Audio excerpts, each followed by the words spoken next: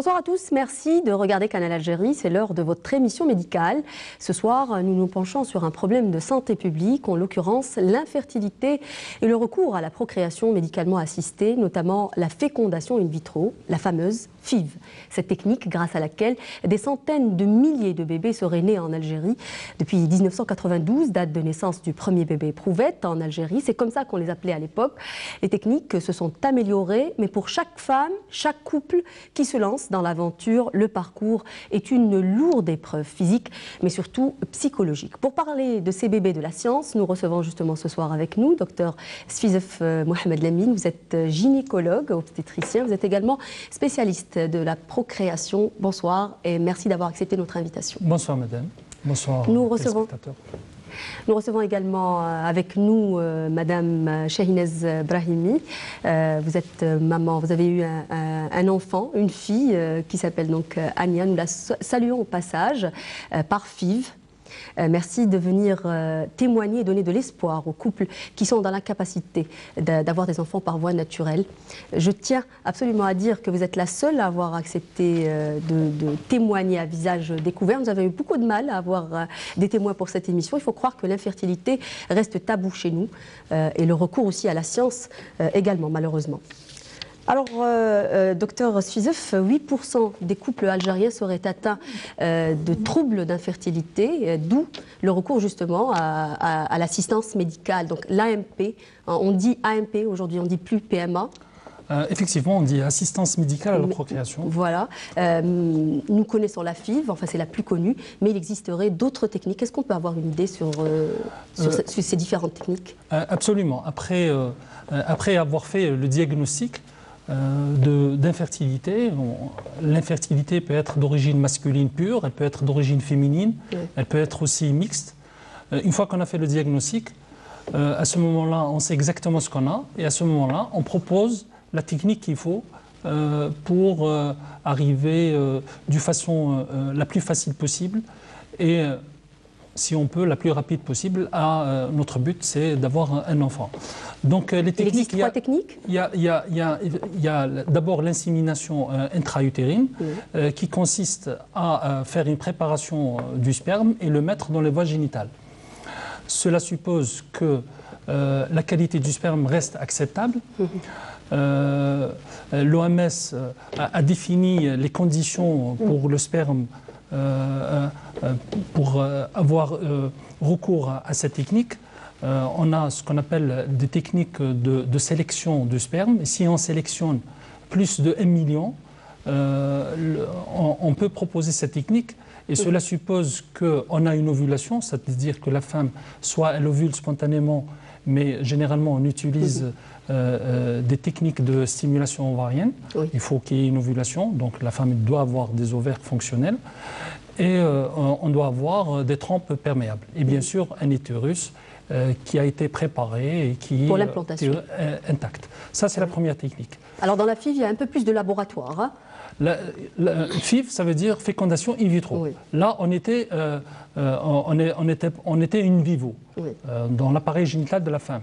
Là, une, une in, vitro, là, ça suppose d'abord de faire le diagnostic. Mhm. Euh, on, fait l'état des lieux, ensuite euh, on propose la technique. Euh, la fécondation in vitro, pour faire la fécondation in vitro, comme je vous l'ai dit, la, cause peut être féminine ou, masculine. la, masculine, c'est-à-dire que, que, le sperme qui est déposé au niveau des voies génitales d'une façon naturelle n'arrive pas à, féconder et arriver jusqu'aux trempes pour féconder euh, euh, l'œuf, euh, l'ovocyte. Oui. Ça, c'est en fait, dans la fécondation in vitro, la fécondation va se faire au niveau du laboratoire. Au niveau du laboratoire. Oui. Donc, on l'utilise parce que le sperme est de mauvaise qualité, de très mauvaise qualité, et, on l'utilise. Quand les trompes sont bouchées, par Quand les trompes sont bouchées. Il y en a d'autres, on peut avoir recours à cette technique euh, dans, par exemple dans l'infertilité inexpliquée. Quand euh, on, a utilisé toutes les méthodes possibles et on n'arrive pas à avoir euh, ce qu'on cherche, à ce moment-là, on peut avoir recours directement à la fécondation. Il y a une troisième technique qui, qui est une révolution aujourd'hui. Hein? si, si, on parle de la révolution en matière de, de traitement de l'infertilité, euh, d'abord, euh, c'est la fécondation in vitro euh, depuis, des débuts, depuis la naissance de la première.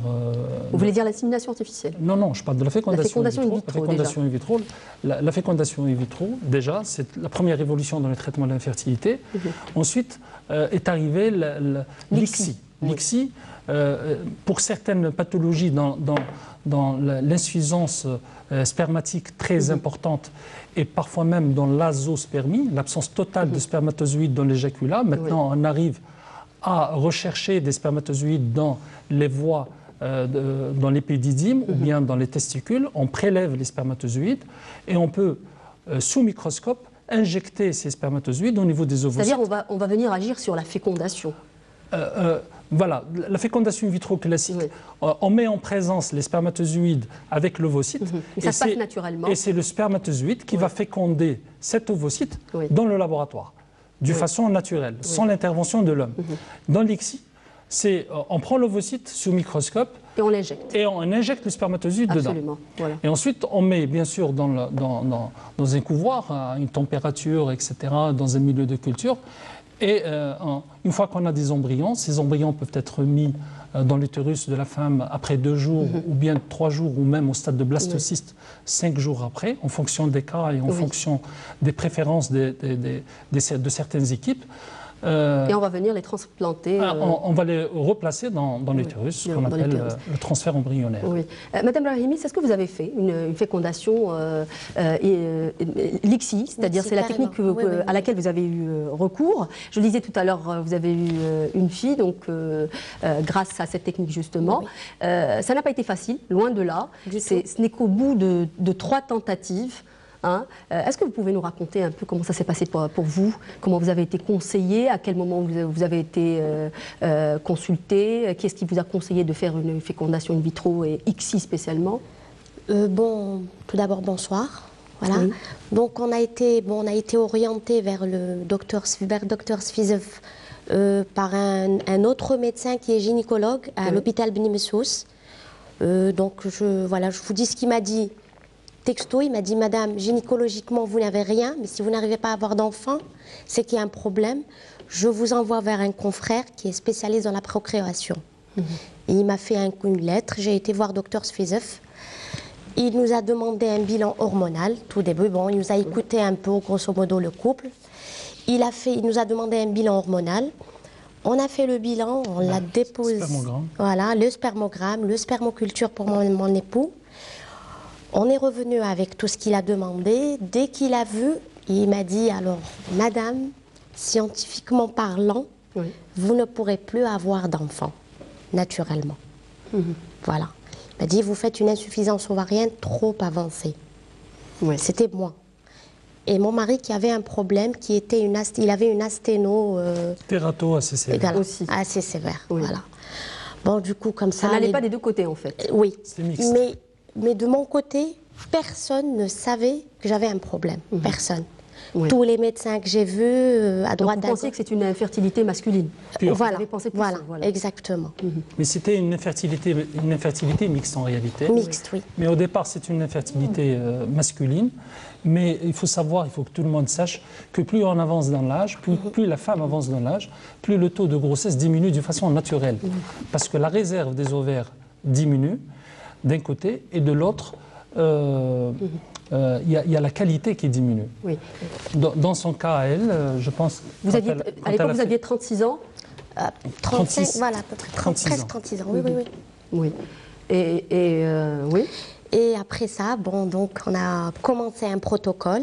Mhm. le premier, dès, qu'on l'a dès que je l'ai commencé, au bout de 15 jours, si je me rappelle bien, j'ai dû l'interrompre parce que j'ai mal répondu. Oui. Et donc il fallait que je m'arrête. Il y a, eu, des, effets secondaires. Oui, il y a eu des effets secondaires. Et donc j'ai dû m'arrêter deux mois à peu près, deux mois à deux mois et demi. Je rappelle le médecin. Mhm. Voilà, je rappelle mon Au bout de la, deuxième, de la deuxième, après vous avez fait une deuxième FIV au bout de Après- combien de temps? Non, c'était pas dis- une deuxième FIV. On n'a pas fait la FIV la première fois, On a fait- interrompu on le pas traitement. été jusqu'au bout. Hein. J'ai pas été jusqu'au bout. J'ai dû arrêter au bout de 15 jours euh, de, de traitement. vous avez, fait, vous avez commencé quand même la stimulation ovarienne. On a la commencé première la étape. oui première Oui. étape. J'ai commencé la stimulation ovarienne et après bon, j'ai dû arrêter parce que j'ai fait des kystes. Oui. Voilà, j'ai eu beaucoup de kystes et tout, donc j'ai mal répandu. Au bout de combien de temps vous avez euh, euh, entamé la deuxième procédure? Je vous dis deux mois, deux mois et demi, vraiment Oui. max. hein. Et cette fois-ci aussi, ça a été un échec? Et là, ça a été jusqu'au bout, tout le protocole. Et ça s'est bien passé. Je veux dire, euh, on avait. euh, je veux dire, le, ré- enfin, le protocole, on l'a fait comme il se doit, tout. Au bout de 15 jours, Oui, C'est l'échec. c'est l'échec. c'est l'échec. Entre guillemets, je sais vous pas n'avez si pas je baissé peux- les bras, ceci dit. Je ne sais pas si je peux dire. euh, la deuxième tentative, il y avait, je crois, on était sept femmes. Les sept, elles étaient, elles étaient plus âgées que moi. Oui. Sept grossesses. Et moi, non. Vous vous rappelez, docteur? Non, non, pas du tout. Mais ça ne Voilà. vous a pas découragé en Du cas. tout. Oui. Du tout. Au bout de la troisième, Au bout de la troisième, deux mois et demi après, je rappelle le médecin. Je rappelle mon médecin et on refait la troisième tentative. oui. Et là, ça a donné quelque chose. Voilà, ça a donné la petite Ania. Oui, on va voir un reportage justement, euh, euh, beaucoup d'espoir. euh, cette technique donne encore de l'espoir, même s'il y, y a un taux d'échec, il y a aussi un taux de réussite. La Oui. PMA semble justement trouver un écho favorable en Algérie, où elle se développe rapidement grâce à la multiplication des centres et laboratoires spécialisés dans la FIV notamment. Nous nous sommes rendus dans l'un de ces laboratoires pour voir de plus près à quoi ressemblent toutes ces manipulations que vous venez de citer. Donc docteur, voyez ce reportage signé Farida Ben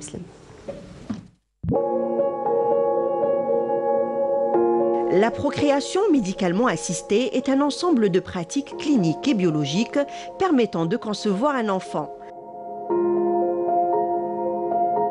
On aide d'abord par euh, un interrogatoire poussé, des examens poussés, euh, des analyses poussées pour dépister et diagnostiquer où est le problème. Donc en fonction de ce qu'on récolte comme, euh, investigation euh, clinique, biologique, échographique et radiologique, euh, ça dépendra de l'âge aussi. Donc on peut faire soit euh, proposer, euh, après une stimulation légère, des rapports programmés au moment de l'ovulation, ou bien faire pratiquer une insémination artificielle conjugale Dans la plupart des cas, il s'agit de couples n'ayant pas pu avoir d'enfants après deux ans d'union. J'ai eu une très bonne prise en charge parce que c'était pas facile par rapport au dosage, pour avoir une bonne stimulation, pour avoir euh, de bons follicules. Et euh, avec le, bon, suivi des médecins, euh, ça a abouti. En fait, moi, bon, ça fait 10 ans que je suis mariée. J'ai déjà un enfant auparavant, naturellement. Et on va dire après 5 ans, 5-6 ans de stérilité. Je me suis mariée en 2013 et, on a attendu un petit moment, disons 18 mois, quelque chose comme ça, pour débuter la PMA. J'ai suivi euh, chez d'autres médecins et chez un autre centre de PMA aussi. Ça n'a pas marché, j'ai eu deux, deux tentatives qui n'ont pas fonctionné. Et aujourd'hui, c'est le jour de transfert. On m'a transféré trois embryons.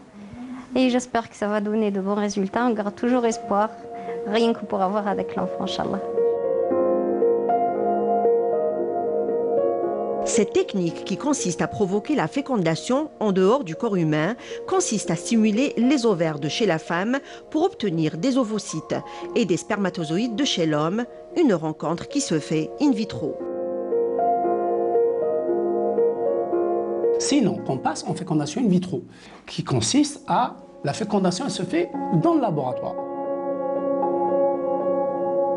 Votre vie tourne autour du désir d'avoir un bébé et si un coup de pouce pouvait réaliser ce rêve Alors justement, c'est un, un parcours très compliqué qui demande beaucoup de- d'engagement personnel. Euh, Madame Brahimi, est-ce que vous reconnaissez quand vous voyez ces femmes euh, comme ça, euh, en attendant le résultat, avec beaucoup de déception aussi, mais, mais on ne lâche pas? On lâche pas, on lâche Oui. pas. Beaucoup d'émotions, beaucoup. euh, oui, oui. Ou de stress. Et de stress. Oui. Euh, alors j'ai retenu qu'il faut, il faut attendre deux ans avant de consulter.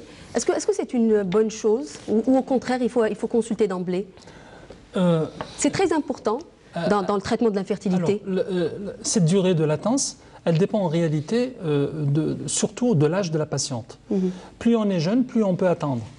Mais si on est avancé dans l'âge, et, les, témoins, les témoignages sont là, plus on avance dans l'âge, plus on risque de, frapper euh, tardivement, et si on y va tardivement, euh, on diminue nos chances de grossesse.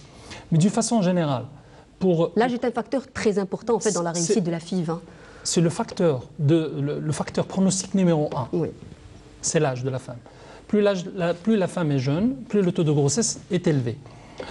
Euh, pour cela, la, la, latence dépend de l'âge. Si la femme est avancé dans l'âge, je, conseille d'y aller euh, au-delà de 34 ans, au bout de 6 mois euh, maximum, il faut y aller. Mais d'une façon générale, c'est un an. Pourquoi? Parce que le, taux de grossesse euh, d'une façon naturelle, il n'est pas à 100%, même si on n'a absolument rien du tout. Chez une femme de 25 ans, le taux de grossesse ne dépasse pas 20-25%. Si elle a 32 ans, c'est à peu près, à l'état naturel, c'est 15%, de chances de grossesse. Et à l'âge de 40 ans, le taux de grossesse est de 6%, d'une façon naturelle, si on n'a aucun problème. Pour cela, c'est pour, ce, c'est pour cela. aussi peut-être euh, s'adresser aux médecins euh, spécialistes qui, peut-être par moment préfèrent euh, essayer d'autres traitements. et ça, ça prend du temps avant d'orienter les gens vers, vers une FIV, par exemple. On préfère les traitements pharmacologiques, par exemple, par moment. Oui, oui. Euh, euh, euh, il, n'est pas, pas, nécessaire d'aller d'emblée dans un centre de FIV ou mhm. chez des médecins spécialistes de la fécondation in vitro parce qu'on est marié depuis trois mois et qu'on n'arrive pas à faire un enfant. Mhm. Mais il faut consulter, mais la durée ne doit pas dépasser, il faut faire le diagnostic. avant de stimuler les ovaires, il faut faire le diagnostic. Est-ce que les trempes sont de bonne qualité? Est-ce que cette femme-là ovule? Est-ce que le sperme est de bonne qualité?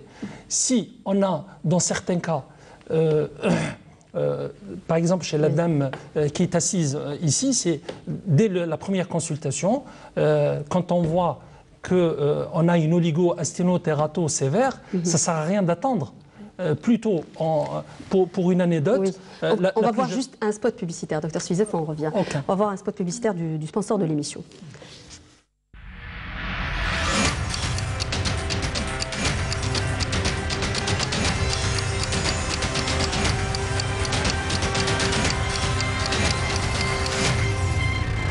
Santé Mag vous est présenté par Saïdal.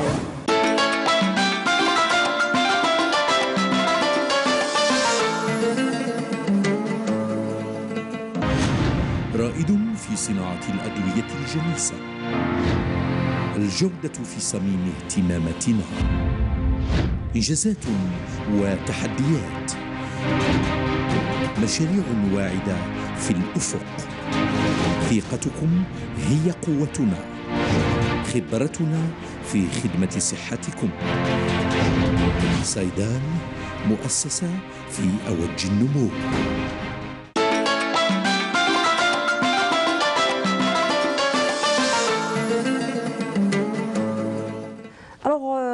Taux de réussite euh, d'une FIV sont à peu près de 25 à, 30 euh, Est-ce qu'il y a euh, des conseils qu'on peut donner peut-être avant de faire une FIV pour optimiser ces taux de réussite justement?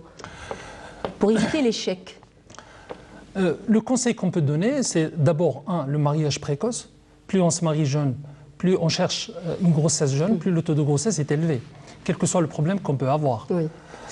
Le, deuxième, le, deuxième, conseil que je peux donner euh, à tout le monde, et dès le, très jeune âge, c'est de manger correctement et de vivre dans une bonne ambiance. Parce que nous vivons dans un milieu où, euh, euh, un milieu où il y a la pollution, il y a, beaucoup de stress aussi. Il y a beaucoup de stress. Le stress fait que nous mangeons mal, nous n'arrivons même pas à mastiquer l'alimentation que nous que, nous prenons. Euh, nous vivons dans un milieu, euh, excusez-moi du terme, obésogène, ça veut mhm. dire qu'on mange très mal et les fast-foods, etc. Et, ça, il y a une répercussion directe sur mhm. euh, la, qualité de vie se répercute sur notre état de santé. Et la fertilité est un état de santé. Donc, c'est le mariage précoce si c'est possible. Mhm. et la deuxième chose, c'est de consulter, de consulter précocement. Oui. Mhm. Parce qu'on voit beaucoup de patientes et beaucoup de couples qui arrivent, hélas, à la procréation médicalement assistée, des fois pour la première fois après 10 ans après 15 ans et même après 20 ans de mariage, chose qui est inacceptable. Oui. Euh, Madame Rahimi, euh, on a vu tout à l'heure dans le reportage, on parlait un peu en gros de, euh, de la fécondation in vitro, des différentes étapes. C'est un, parcours assez long, assez éprouvant. mais, j'aimerais savoir, quand, quand vous avez fait ce, protocole, deux fois ou, trois fois, puisque la première fois, elle a été interrompue, quel a été le moment qui vous a marqué le plus dans, dans ce processus? Il y a eu deux moments. Oui. Le premier, là où il y a eu l'échec, parce que c'est... Euh, Ça a été dur Très dur. Surtout lorsqu'on s'attend quand même à, une, oui, à une réussite. Et le deuxième moment, c'était le jour où j'ai eu mon bêta-CG. C'est-à-dire? Le, jour où j'ai fait mes analyses pour voir si ça a marché ou pas. Quand on vous a annoncé que vous étiez enceinte, en oui. c'est ça? Oui. Ça, c'était... Ça s'est passé comment? C'est indescriptible, vous allez dire. Oui, oui, c'était un moment extraordinaire. C'était tout le labo qui. Madame Brahimi, vous êtes enceinte, Madame Brahimi, vous êtes enceinte. Oui. Alors, l'aspect psychologique est aussi important dans, le succès d'une épreuve pareille. Parce que c'est quand même long pour, euh, et, dur à supporter des, euh, aux deux et le mari et la femme. Ah, si la femme supporte un peu plus, peut-être parce qu'il y a des traitements hormonaux à prendre. Non, non, non, pas du tout. Enfin, pour moi, non pour moi. Moi, je pense que le, que le, facteur le plus important, c'est l'acceptation de le diagnostic. Si, si, on comprend bien ce que nous avons, si on accepte le diagnostic, à ce moment-là, on arrive à suivre étape par étape la thérapeutique. Et on est en phase avec la médecine et avec le médecin. Et, à ce moment-là, quand, quand, on explique euh, aux patients, etc., c'est ça qui les emmène à, à s'accrocher à, faire une première tentative parce qu'ils comprennent la problématique. C'est-à-dire parler franchement, en fait, tout simplement. Il faut expliquer parce que tout le monde comprend. Il faut juste mhm. euh, se donner le temps d'expliquer euh, les étapes, il faut euh, le taux de grossesse, les problèmes que nous avons en présence. Et, croyez-moi que les, les, quel que soit le niveau intellectuel et, d'instruction des, patients, ils comprennent, ils arrivent à suivre, quel que soit leur niveau. Et ça, c'est extraordinaire. Et c'est ça qui fait que euh, nous arrivons à la fin au but, parce que ce n'est pas intéressant du tout de, de, faire une fécondation in vitro. Euh, juste pour faire une fécondation in vitro. Le, ce qui est intéressant, c'est la gestion de, de, ce, de, ce, de ce parcours, parce que c'est une gestion. Mhm. On a vu euh, votre cas, Madame Brahimi, donc au bout de deux FIV, euh, pour, pour qu'on euh, ait une grossesse. On a vu également dans le reportage, alors là, trois, au bout de trois FIV. Est-ce que c'est rare d'avoir un succès dès, le premier coup? Pas du tout. Je, pas du tout. on a l'impression que c'est quand même un succès rare. Non, pas du tout. Plus on est jeune, plus le succès arrive dès, le premier coup. Mhm. Mais ça arrive aussi qu'une euh, première tentative permet aux, médecins et à l'équipe euh, qui prend en charge de, rattraper certaines spécificités chez ce couple-là qui peut être corrigée la deuxième fois. Euh, enfin, de cerner le cas. De, cerner le cas. Il y, a, des protocoles, mais parfois il y, y, a, des spécificités, il y a des profils de certaines patientes, euh, on se dit, tiens, celle-là, si je lui refais, je lui refais différemment, je vais lui faire tel protocole au lieu de tel protocole, telle dose au lieu de telle dose. Et, assez souvent, on, arrive, à, si on cerne bien le problème, à arriver au bout de la deuxième fois. Euh, bien sûr, si... Euh, Est-ce qu'on connaît les raisons d'échec d'une FIV? Pourquoi ça échoue? Euh, euh, d'abord euh, parce que dans la nature humaine, le taux de grossesse n'est jamais de 100%. Vous avez, on en a parlé tout à l'heure que naturellement, même si tout va bien, le taux de grossesse, même chez la femme jeune, est de 25% naturellement. Donc en faisant une fécondation in vitro, il faut savoir que nous travaillons sur un seul cycle, on ne travaille pas sur 12 cycles par, an. Et, et euh, il, y a, beaucoup de facteurs qui influencent le succès. D'abord, il y a l'embryon, la qualité de l'embryon, il y a la qualité de l'endomètre. Euh, en parlant de l'embryon, il faut savoir que... Brièvement, parce qu'on est presque à la fin de l'émission. Voilà, nous choisissons des embryons sur leur aspect morphologique, mais il y a, il y a des critères génétiques, et là, nous ne pouvons pas savoir à l'avance quel est l'embryon qui a le plus la faculté euh, de, s'implanter. Il y a maintenant des recherches et euh, euh, sur le plan génétique, il y a mhm. maintenant, on peut faire ce qu'on appelle un diagnostic préimplantatoire pour rechercher des anomalies génétiques, mais ceci n'augmente pas les chances de grossesse, mais permet de mieux cerner, de trouver les meilleurs embryons qui ont le pouvoir de s'implanter. En parlant de l'utérus, on termine avec vous, Madame Brahimi. Est-ce euh, parce que là, on est vraiment à la fin de l'émission. Euh, est-ce qu'il y, aurait un conseil à donner peut-être aux, gens qui, sont dans la capacité de, procréer naturellement ce, serait lequel? Euh, bon, je vous dis honnêtement, c'est de s'y prendre vraiment tôt, dans le sens où, comme il a dit tout à l'heure, il a expliqué bien le médecin, au bout de, pour moi, moi je donne un conseil à pratiquement à toutes les femmes, au bout de 3-6 mois de mariage, s'ils voient qui a rien et qui mhm. veulent avoir un enfant, c'est de euh, aller et voir pourquoi on n'arrive mhm. pas. Oui. Voilà. Euh, Se poser, déjà accepter, accepter et accepter vraiment l'idée qu'on n'arrive pas à avoir naturellement un enfant. Mhm. C'est qu'il y a un problème. Docteur Suizef, également un dernier mot pour terminer. Euh, un, dernier mot, c'est d'essayer de, essayer de se marier jeune, euh, d'essayer de, concevoir jeune, euh, de consulter précocement et de vivre sainement. Oui. D'accord. Merci beaucoup. Merci Pour préserver la fertilité. Merci d'avoir participé à cette émission. voilà, on arrive à la fin de cette émission. Merci de l'avoir suivi. On vous donne rendez-vous dans une semaine. Au revoir.